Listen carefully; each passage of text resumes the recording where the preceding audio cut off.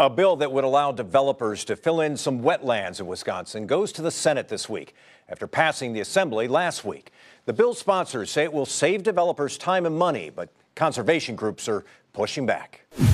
It's become much uh, too problematic for both homeowners and developers to get through this process in any uh, reasonable amount of time. Assembly Majority Leader Jim Steineke sponsored the wetlands bill. He says it would speed up processes for developers who want to fill in some isolated wetlands. So what this does is it just streamlines the process for filling small amounts of wetlands, uh, brings the cost down, and I think eventually will save the consumer and the homeowner uh, a lot of money in the long run. The Wisconsin Wetlands Association opposes the bill. The group says it would remove protections for tens of thousands of acres of wetlands around cities and villages. Our wetlands are some of the hardest working water resources we have on the land. Uh, everybody understands, most people understand that they're critically important for wildlife, particularly um, breeding and, and migrating waterfowl.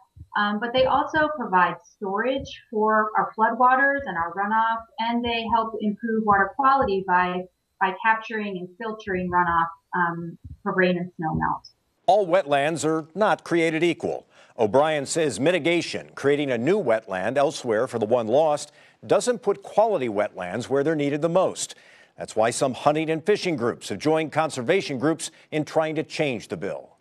It's a very unpopular piece of legislation, and I think that policymakers are hearing from um, sportsmen and uh, cities and others around the state expressing their discomfort and their displeasure. So I guess time will tell, but we're we're going to keep working till the very end.